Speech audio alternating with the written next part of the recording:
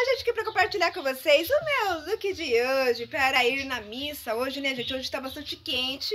Então eu ia vestir uma roupa de frio, gente, pra vocês terem ideia. Já eu falei, meu Deus, eu não vou aguentar. Vou ter que vestir um vestidinho. Coloquei esse vestidinho aqui tudo, eu comprei na Pague Menos, né, gente? Todo listradinho pra combinar com a minha sapatilha preta e listradinha, como vocês podem ver, né? E esse foi o look que eu decidi, né?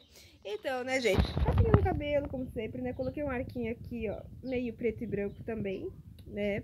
O cabelo começa a ficar oleoso, começa a ficar rebelde também, né? Nessa época quente, né? Olha só, tá tudo molhadinho aqui a franja já. E tô aqui com esse brinco que ganhei da minha amiga Thaís Baceto.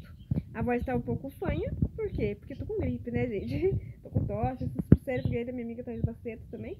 Esse anel eu ganhei de uma tia minha. Tô com esmalte verde aqui ainda, né, gente, ó conta da Copa do Mundo e tudo mais, né? E, e olha só o acessório que voltou, gente, máscara. Por que, que eu voltei a usar máscara, gente? Falar pra vocês, aqui na cidade minha de Manduri, tá tendo muito, muito caso de Covid outra vez.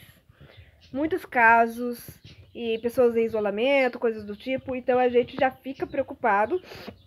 Eu já tô com tosse, tô com gripe, Pode ser uma, um indício de Covid, pode até que ser.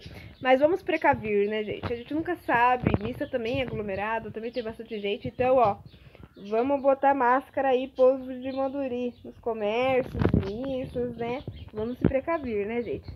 E é isso aqui, meu look de hoje. Tem essa bolsinha aqui do lado, né, gente? Que eu sempre uso ela, não. E é isso.